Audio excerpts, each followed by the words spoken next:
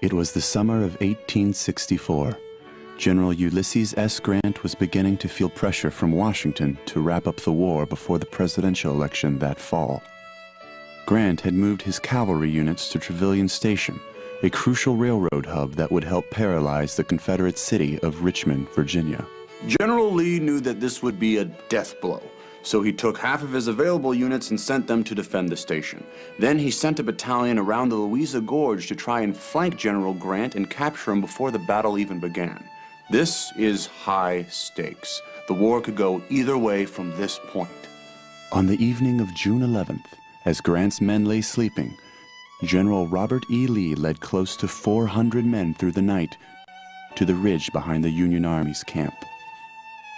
They silently crept through a large cornfield when they stumbled onto a herd of sleeping velociraptors. The carnage that ensued left 260 Confederate soldiers dead, and some believe tipped the battle and thus the war to the North. We'll return to Dinosaurs and the Civil War, only on the History Network. That's great. Bravo. Nicely done. Uh, are we concerned at all that this didn't happen? What do you mean? Well, this didn't happen. There were dinosaurs and there was a civil war. Not at the same time. It's like we took two documentaries and we put them in the same time slot.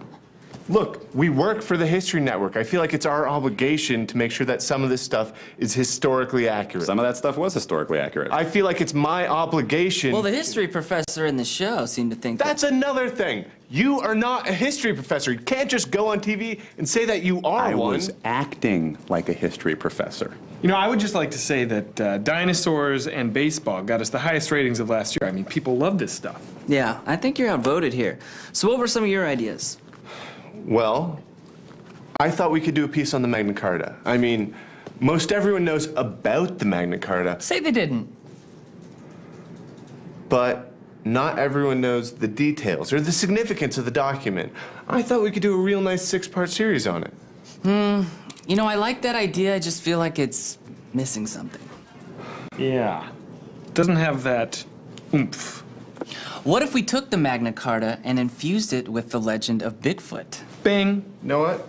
Never mind. Okay, moving on.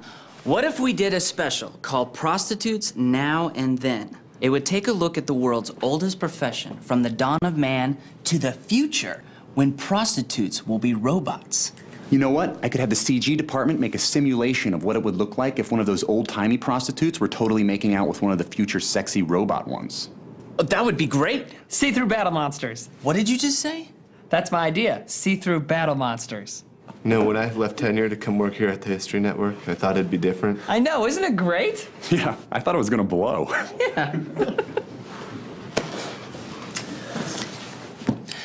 All right, as everybody knows, next week is Hitler Week, and this year's spin is was he really that bad? Where are we with programming? Hitler versus Sharks is almost done, and I can't wait to see who wins.